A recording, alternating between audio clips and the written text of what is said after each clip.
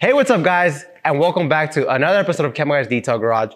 Do you have hazy headlights that's ruining the visibility at night whenever you're driving your car? Well, guess what? Today I'll be showing you guys how fast and simple it is to restore your headlights back to looking brand new. Let's get right into it. Before we get into the headlight restoration, we need to do one crucial step, and that is just to clean up the headlights. Now, I want to clean up the headlights so I can show you guys at home that this headlight is not going to come back, whether you clean it with water, with a quick detail spray. So I have synthetic quick detail spray. I'll go to the surface and I'll spray it. Now, you guys can see liquid does land on it. It's going to obviously clear up a little bit, but as soon as it starts to dry, it goes back to that hazy effect. And I just want to use synthetic quick detail spray just to remove any uh, dirt, grime, or debris that might be sitting on the headlight. But immediately after you start seeing the headlight come back, you guys can see it starts going back to it being hazy. So what do you actually have to do? It's fairly simple. One thing first, what we're gonna do, we'll be putting this applicator off to the side. We'll be getting our pink sanding block. Now this pink sanding block has a hard edge at the back that's going to allow you to get into the nooks and crannies while the front is very foamy like and it's going to contour to the area you're actually working with. So we're actually going to be wet sanding these headlights. Now these headlights do need wet sanding because they're fairly gone and you're gonna get a better result whenever you do wet sanding. Now on the other hand, if you do have newer headlights that just have a very light film, you could just strictly go into straight uh, headlight restore and like that you restore them. But today we'll be doing two different types of uh, wet sanding methods. One, using 2000 grit and the other one's going to be 3000 grit. So for anybody that is new here or is new to wet sanding, the lower the grit sandpaper it is, the heavier it's going to be gritty on the surface. The higher you go, the finer it's going to get. So we're going to start off with the much heavier one, which is going to be 2000. All you want to do is peel off the edge on the back, put that off to the side. And then you'll go to your sanding block, you'll lay it down, and then you'll just peel back on the rest. How can you actually wet sand? It's very simple. Get a secondary sprayer bottle with pure water, go to the area, and all you want to do is mist the surface and you want to keep it highly lubricated. Spray your uh, sandpaper as well. Now go to the area and start sanding it side to side. One thing you never want to do is go in circular motions, always go in linear motions, so that you don't cause any scratches or swirls. Now what the wet sanding method is going to allow us to, to achieve, it's going to remove any dead plastic that's sitting on the headlight. So like this, whenever I go to polish it, there's not going to be any type of contamination and it's actually going to clear up the headlight back to brand new. So I'm just taking my time. And one thing you want to do and keep in mind is keep it highly lubricated. And now that we're wet sanding, one thing I also want to point out the tape. The reason why I put tape on the headlight is because I want to prevent me from scuffing the paint. So just take the extra step and care for you to mask off any painted surfaces so this you don't accidentally bump into it and cause bigger headaches. Once I already wiped down the headlight, it's going to go back to it being actually dull. And that is because you want a polish to revive the finish of this headlight. So the wet sanding part is just going to allow us to remove dead plastics. The polishing part is going to allow us to revive the headlights. So let me just go side to side with these headlights. And then after that, we will be bumping up to other grit. So give me like two minutes just to go side to side.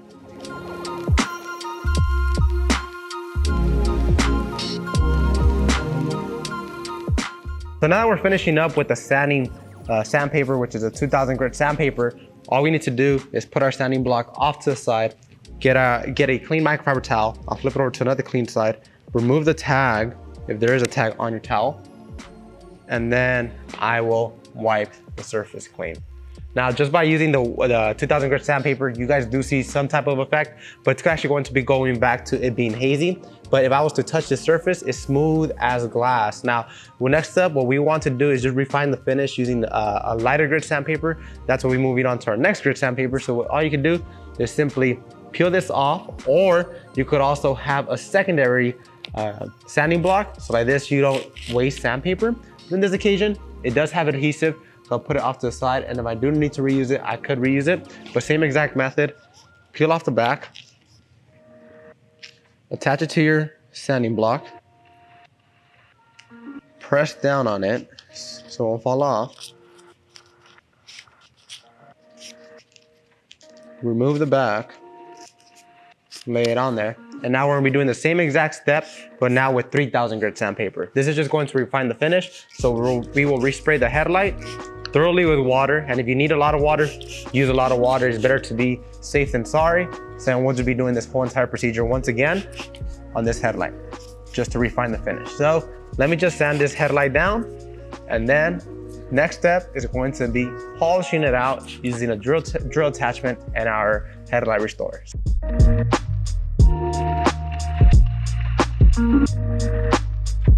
Okay, so after giving a couple passes, I'll put my sanding block off to the side or even on the floor. I'll get my clean microfiber towel. I'll wipe it clean. Don't worry about the paint. I'll take the I'll take care of the paint after. And now, now that the surface is clean, what I like to do is just touch it, make sure there's no high spots or rough spots. And after there's fully smooth as glass, you already know you're good to go to the next step, which is going to be polishing it. But as you guys can see, it's coming back to it being hazy. And this is when a lot of people start asking us, well, how do you actually bring it out? How do you actually restore it? And that is going to be using headlight restorer. Now headlight restorer is a polish and sealant all in one. It is going to add some type of protection, but I want to enhance even more protection. That's why I'll be applying Jet Seal after this. But before anything, just shake up the product. I will get my drill attachment. Now this drill attachment, if I was actually to remove it, the backing plate, it actually has a good screw on it, which is, you could find this on chemicalguys.com. I already attached it to my shaft. A three inch backing plate with a four inch face. All you need to do is just spin this on get your product, shake it up, open up the spout.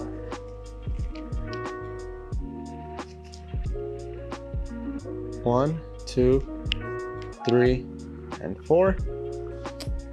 I will get my synthetic quick detail spray, just so I have some type of lubrication on my pad, spray one spray onto it. And this is just going to act as lubrication onto my onto my pad so I can reduce friction. And now I will go to the the headlight. I will blotch out the headlight, uh, restore all over it, and then I will start working it in side to side, up and down. Uh, look, unfortunately for me, these headlights are very thin, so I'll just be going side to side until it turns clear, translucent, then I'll buff it off.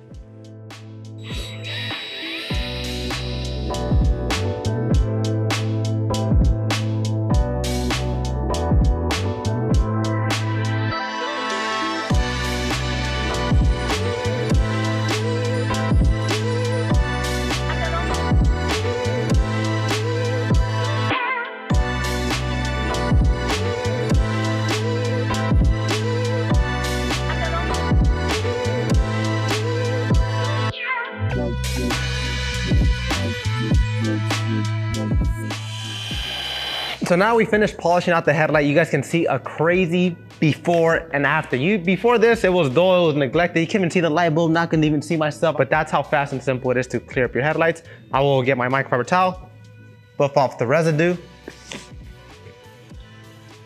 remove my polish, and now it's crystal clear, but we do have one last step, which is applying some type of protection. Even though Headlight Restore does contain a sealant, I want even more protection. I want 12 months of protection. That's how I'll be applying Jet Seal to it. So shake up the product.